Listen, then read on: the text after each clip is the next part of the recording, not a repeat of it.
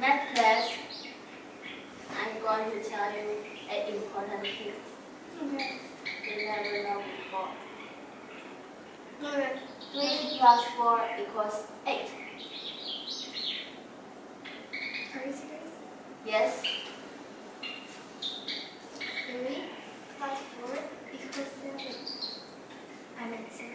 never mind. 4 plus 3 equals 8. No, it doesn't matter you change the 3 and 4, the place is different. It still equals 7. Okay? No, but 3 plus 3 equals 7. 3 plus 3 equals 6. Okay? Oh, this. Okay, I, I can't. I can't. Ugh, I need to go.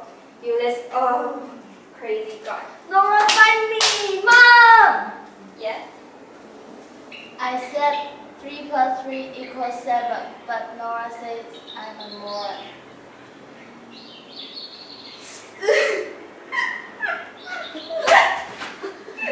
What's going on? Oh.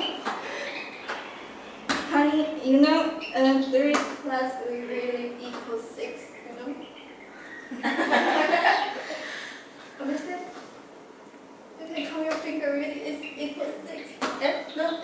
Is equals 6. Yeah? No, yeah, it's. 1, Ah, 2, Let's go. three, You, don't need to answer right six, question. Let's go. Come on,